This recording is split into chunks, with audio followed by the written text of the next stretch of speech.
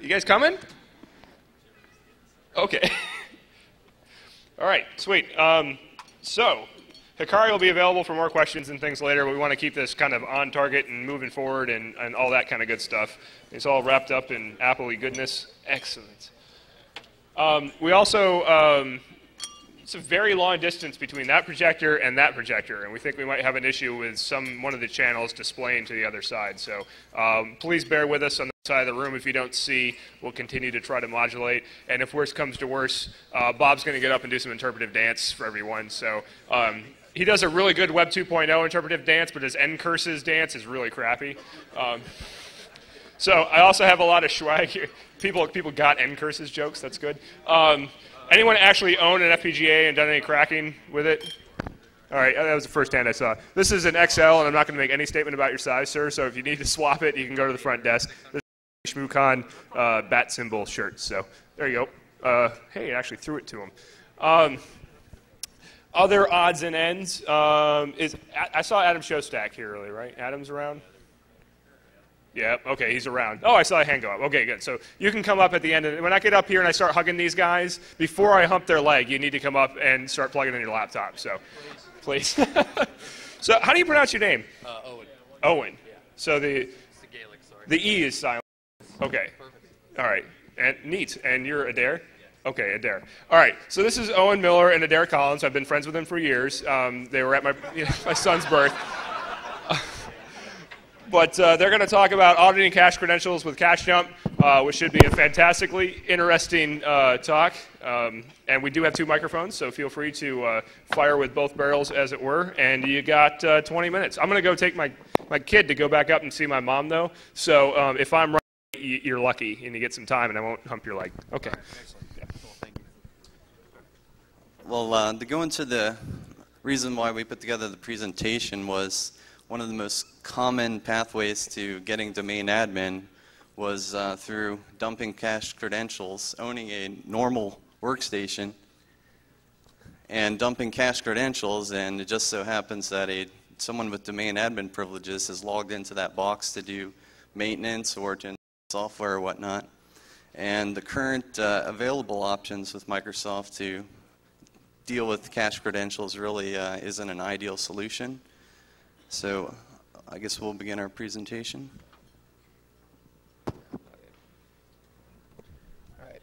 Uh, we're just going to go over, uh, oh, sorry, get this set up here. All right, uh, just what cache domain credentials are real quick. Um, basically, cache domain credentials are the encrypted username and password domain information that has uh, been used previously for authentication within a Windows domain. Um, they're stored in the registry in this location right here, the, the N number. There's 10 of them by default. You can change that. We'll go over that a little bit later. And uh, basically, um, they're salted with the MD4 hash rather than unsalted LAN, uh, LANMAN and NTLM hashes that are stored on uh, domain controllers and also local security databases. Um, the domain credentials are used for several things. Uh, it allows you to uh, authenticate when a domain member is offline or your domain controllers are down, or if a Samba server has taken over your domain and you've never noticed, uh, and all the local Windows 2000 clients are still logging in. That happened to us, us at one point, but.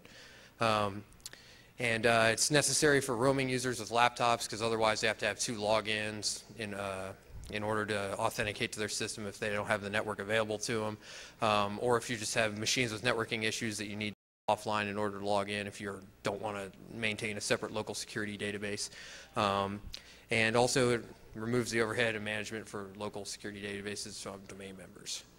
Um, why they're dangerous? Uh, basically, uh, especially with the domain admin privilege ones, um, as soon as you get, as, as soon as anyone gets them, if they crack them, they own every single NT device and anything else that authenticates based on that. Um, since so many things plug into this and it's such a many uh, internal uh, company infrastructure. Um, it's really important to try and protect these as much as possible. Um, even having 90-day password uh, policies is generally not good enough uh, for because just because people always pick really simple stuff and admins as well. So. Um, they're all over your network and you cannot track them. Um, they're going to be on just about every single desktop, laptop that you can ever think of, or any SQL servers or just member servers that you're thinking about. Um, also, uh, if somebody steals a disk or steals a system, it's going to be on there. You don't have to be sitting on a network waiting to see a uh, Kerberos pre-auth hash shoot across the wire to sniff and crack that. It's already just laying in wait. So uh, you're not. Sorry. Cockroach. Yeah. I thought I'd been smelling some uh, DEET, like some off in the area all day today, and I think I know the reason why. Um, um, and also, all your users uh, generally have access to their own desktops unless you've went to some crazy Blade solution. So uh, if you've ever logged into that box before or done any remote administration on that box uh, with a domain uh, administrator credentials, then uh, you, that, that user might, might uh, immediately grab those crash credentials and cr start cracking and try and own the entire NT domain. Um, and of course, they might have been on that lost or stolen laptop. All right, so of course, this will scare you, and you should say, oh noes. But um, go over a little bit on how they're protected from attackers by default. Uh, only the system user has read-write access to the, to the security hive. Um, basically, uh, that's fine when you're booted inside of the operating system and you just have uh, even someone with administrator access. They don't necessarily uh, have the ability to do that, but they can just change it or use many tools start a service that then actually has read-write access to those keys. Um, also, uh, they're salt, uh, when, you, when they create these values to store in the registry, it's salted with the Unicode version of the, of the uh, username and then encrypted with the RC4 cipher as a randomly generated key value. Encrypted again using DES and the LSA secret. Um, this has all really gone over. I'm not a big crypto guy. Uh, the uh, cache dump readme.txt really goes over this very, very well. Um, if you can grab a copy of that and zip file and look through it. It has great uh, write-ups and research that was done on it. Um, and here we have some scenarios that uh, lead to the domain ad, uh, admin credentials being cached. Um, many of these are just common administrative tasks, such as a domain admin logs into a domain member to fix a software or permissions issue. Um, domain management uses the run as function to execute a program. So even if you are properly not logging into systems right all over your network, um, and then using the run as functionality in Windows 2000 and above, it's, it, uh, when you do that, it invokes the win winlogon process, which will then create a stored cached value on the system. So uh, that's just something to be aware of. Um, also, if you RDP into a system to fix anything, it's caching it at that point as well. And uh, also, this is actually one that's very specific to a uh, assessment that Adair had done, um, where there was a called uh, administrator shared laptop, yeah, I believe. shared admin laptop. Yeah. that was that that popped out on the network neighborhood, so that was the first target. Um, it was easily exploitable, and it had cache credentials for all the domain admins, members of the domain admin group. And, and how long did it take to own that whole network? Uh, yeah, that was about a 15-minute assessment. It, no tools. Yeah. No, no tools, no scanning, uh, nothing. In a conference room with one of their public computers that were for use in, inside of that, if I remember right. Exactly. Yeah. that, was, that was fun. Um, just talk about how the cache credentials can be obtained and cracked. Um, tools for this, such as cache dump. Um, we uh, noticed during the course of writing this presentation, it is, no, it is uh, said on the site that it's no longer part of public domain. Um, I don't really know what happened too much, uh, but if you go to lots of security websites that archives this stuff, uh, my personal is going to be packetstormsecurity.org. Um, they have all the all the versions of it up there. Um, I don't know why exactly. Um, there, it was previously published under GNU licensing and everything. So, um, but also FGDump, which actually I believe uses cache dump code, and Cain and Abel, um, which is pretty much everyone's favorite tool for this type of stuff. Um, you can also uh, use John the Ripper to crack. Um, you have to go grab a specific uh, source patch and compile it with that in order to or you can just use Cain and Abel. Um, either or will work just fine. Um, I'm going to talk a little bit about uh, what you can do to hopefully stop this. Um, you can disable booting from other uh, media and set a BIOS password on all systems. Of course, this doesn't stop anyone from pulling the drive out and mounting it and pulling everything out. Um, there's also a Linux bootable distro that uh, does that you can do this with, where you can just dump it all and you never have to enter in, into the Windows operating system um, and run any dump tools or anything like that. So it's, you can do it pretty much completely undetected. Um, and also, a big one, ensure no users have local administrative privileges on their desktops and laptops. It's not new news, but, you know, it, it never happens, and it always leads to these types of uh, situations. Um, implement the practice of least privilege. Uh, there's no reason that anyone should really be using domain admin access on a Windows network pretty much ever. Um, if you create your OUs specifically in Active Directory users uh, group ownership of those OUs and those machines within there, um, they only have access to that. They don't have access to absolutely every system inside of Active Directory. Um, it's a really good idea to do this. Uh, Microsoft goes over it in their best practices and uh, stuff like that.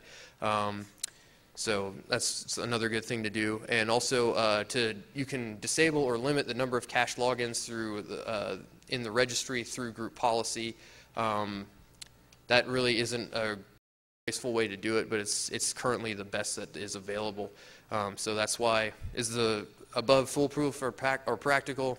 Not a chance. So. Um, how do you use uh, cache dump to audit them? Uh, this is what we did. We just created a little VB script that executes uh, through a group policy setting during startup and shutdown of all domain members. And uh, it takes the verbose output of cache dump and cleans out the uh, username values. And then it goes ahead and looks that up in Active Directory and enumerates the group membership. Then, based upon the group membership, it compares it against the list within the script and then decides whether or not to remove the credential if the, the group membership matches. So even if you have like customized administrative groups or anything like that, it can just go ahead and pull the uh, value out of the registry and set it back to the default value.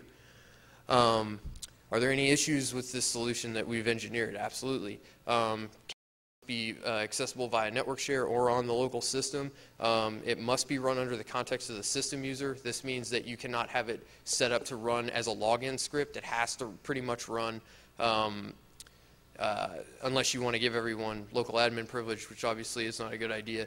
Um, and uh, so it just has to be run under the context of the system user. The only time a script is executed under the context of the system user is during boot up or shutdown of the system. Um, uh, antivirus software will generally identify cache dump as a hacking utility. So unless you have uh, you know, centralized management of all your antivirus stuff, this probably isn't for you. Um, this solution is reactive and also cannot resolve the root cause of cache credential creation and storage. So pretty much without uh, uh any uh, input from Microsoft and changing hopefully how they do things, um, you, there's really no really good way to get around this. The perfect world solution, uh, update the group policy and WinLogon process functionality in the following ways. Um, the WinLogon process to enumerate the group membership users as they log in, and then to decide to cache or not cache the credentials of a user based upon group membership rather than specify a number of cache credentials to store on the system. Um, this, it, it, would be absolutely perfect and you would never have to worry about this issue uh, coming about pretty much if you did this. There's also a, other ways uh, if you use different types of authentication mechanisms like RSA SecurID and stuff like that. But we're just looking more for just how uh, the current system could be made better instead of throwing other third-party uh, solutions on top of it. Um, what about Windows Vista? Will this work with it? Um, at the time of testing, which was probably two days ago. Uh, cache dump didn't work with Windows Vista. Um, I was using version 1.1 because 1.2 was the latest, but it got pulled, and that was the one writing uh, this presentation with Adair. Um, so if you know the contrary, I don't see any Shmoo balls flying at me yet, so I, I guess I'm right so far. Uh, the uh, cache credentials are stored in the registry in the exact same format uh, as previous versions of Windows, however, uh, with Windows Vista. So it, um, it, and it still does the exact same number, so I'm pretty sure it's only going to be a matter of time before someone writes a tool to dump the cache credentials on a Windows Vista box, um, at least for go a little bit over what happened to cache dump. Probably talked about this a couple times already. Um, no longer in public domain. It's previously produced under GNU. And uh, source code and compiled binaries still available at packetstormsecurity.org. Um, we also have a demo coming that we just set up real quick. Um, let's see here. Uh, the demo is going to show some of the, like, as we um, do pen testing for customers, we usually have to come up with some sort of remediation. And the last customer that were able to own their Windows domain in, in a couple minutes, there they were like, "Well, what's the solution?" Um, their their network was question.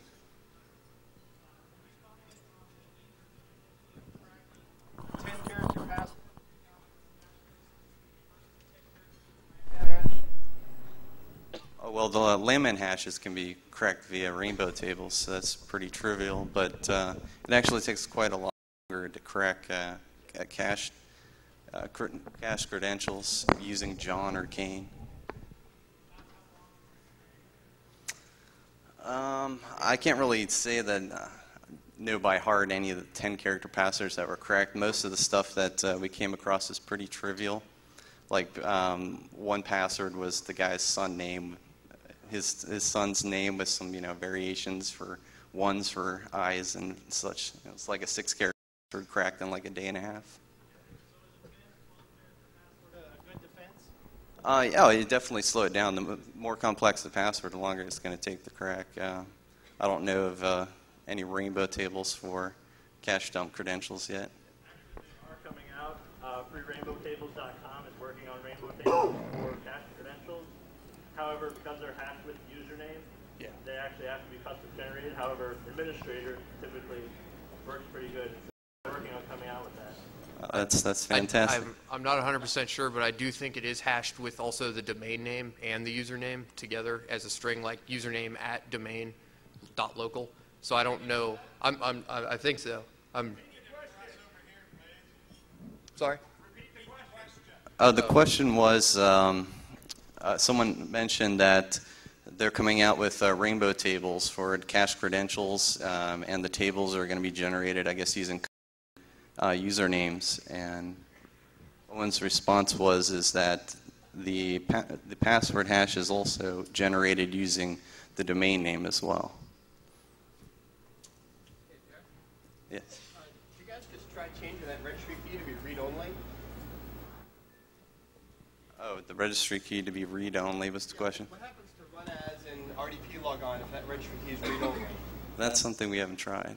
Uh, it, uh, the question change the registry key where uh, the uh, cache credentials are saved. What happens? Um, you can disable the caching of all of them uh, through the uh, through group policy, or there's a registry tweak to state the number. And if you do that, it won't cache any of them. But then you're in the situation that if it's like a laptop or if your domain controllers aren't available, then you can't authenticate against uh, you can't authenticate against any cache credentials because they don't exist. So it, it, it puts you in, it reduces the uh, usability and availability of the system. Do the PS tools, uh, when used against a remote system, result in cache credentials? Um, Uh, if it relies on the Win logon process and does any sort of uh, authentication against the domain, then I, I would assume that it does. If uh, I guess the question was if PS Tools is ever is uh, is used uh, for authentication, does that create uh, an instance of a cache credential? Sorry. Yeah, well, writing up, trying to provide our customer with a remediation for this, uh, some of the admins were like, well, we use run as, you know, that shouldn't be caching it. Then we found that it does indeed cache it, and then the issue of RDPing into systems came up, and we found that, yes, it also gets cached via RDP, and it also gets cached using tools like, popular admin tools like Dameware as well. So anything that calls the Win login process will result in a cached credential. Okay. Um, in the just a quick example or demo here, uh, basically um, just created a new uh, policy in uh, uh, a new uh, group policy object, and uh, just put a copy of cache dump and also the audit cache credentials Visual Basic script that we wrote real quick. Um, see here. Ah, Sorry.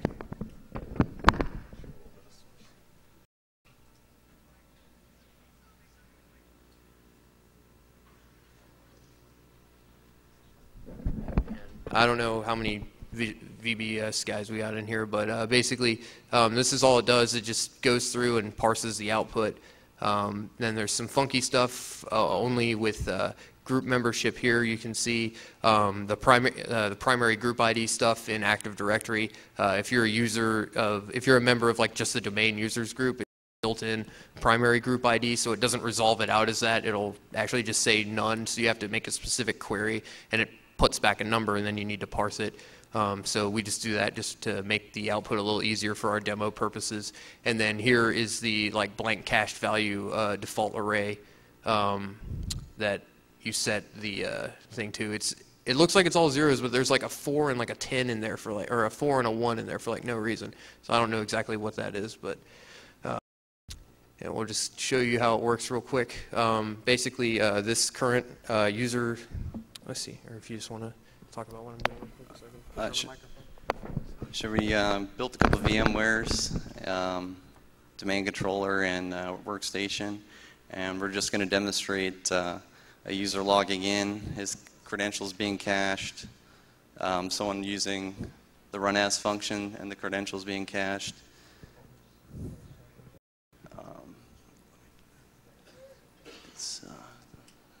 Uh, uh, anyone have time? How much more time do we have? You got all the time you need? Are you still writing your presentation? No, no, I'm just waiting for you to hump their legs. Oh, no, no, that's me, man. Come on. So, um, basically, we just uh, I just logged into the system, uh, uh, authenticating against the local security database. As you can see, there is one cache domain credential for just a uh, a regular user level user that I user one, and uh, I'm just going to go ahead and log back out and then log in as a uh, administrative user on the domain and show you that it creates the cache credential.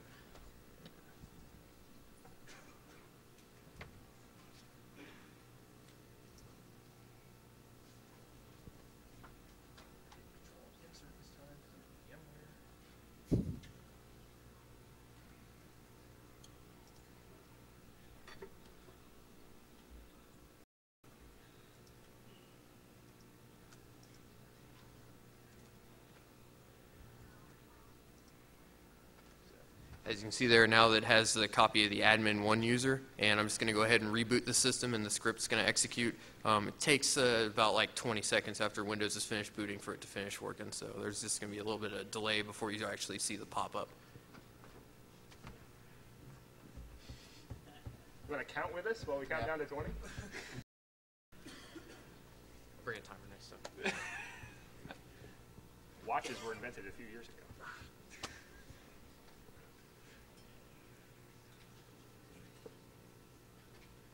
So essentially, the primary use of the script is to go and clean up cached credentials within your domain.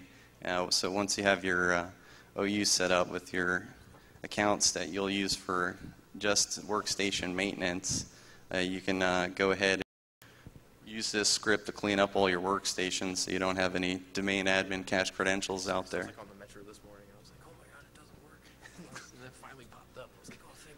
Can I share that with him? Yeah, Okay. So he just confided that he, he and, and I'm sharing this all with you, that he finished writing this code this morning on the Metro. Oh, no, it's been written for a while. Oh, oh, it's been written for a while. I'm sorry. I, I had to rebuild my VMs because I'm. oh, he had to rebuild the VMs this morning on the Metro. That's better than Adam, who's still writing his presentation, for I can tell. So, There we go. See? There you go. So, uh, if you want to talk about what's your like, what's the first user that comes up? And, uh, So, so essentially, the script's going through and it's uh, enumerating uh, group membership, and it's seeing that user one is not a member of the domain admin group, so it's going to leave its cache credentials alone. yeah. That's, And it's uh, so that's that one's domain admin false. So here's the next user that's admin one, and it enumerates member of domain users, also member of domain admins, and then uh, so yes, it's true. Cached entry is being deleted. So I'm going to log in now, show you that the cached entry is actually gone after the reboot. I quit hitting Control, I'll delete. Oh, sorry. it's on purpose.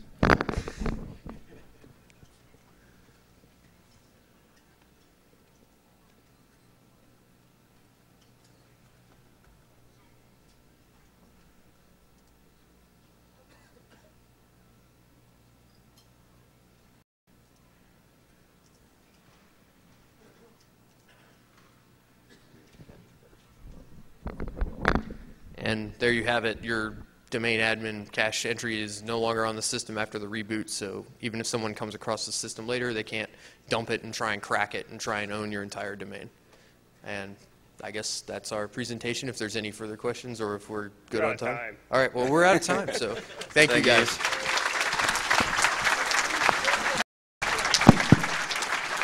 Adam, I'm rever- reserving the leg humping for you. All right, a couple of notes. Um, first of all, so this is a big, wide room, um, and also behind the air wall um, is still part of the big, wide room. So I encourage the people behind the air wall to take your conversations outside. Thank you. Um, yay, there's a few people I know that were wanting that to happen. So anyway, and if you can kind of keep the uh, side